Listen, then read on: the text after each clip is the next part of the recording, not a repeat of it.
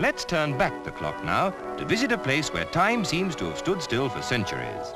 This is Porchester on the south coast, a remarkable example of a Norman castle inside a Roman one.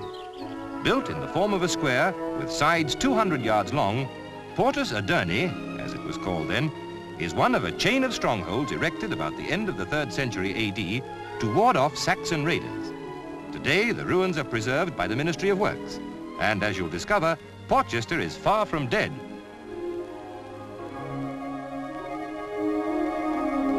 This is where the Normans built centuries later, where the troops of Henry V assembled before they embarked for Agincourt, and where prisoners were kept during the Dutch and Napoleonic Wars.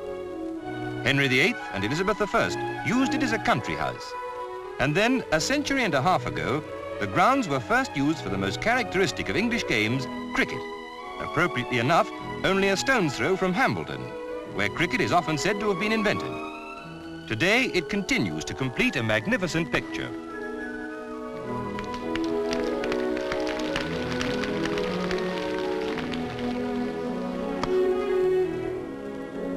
There can be few other places in the world today where the scorers sit in the upper half of a Roman bastion with a changing room beneath, or where an ancient Norman keep serves as a grandstand.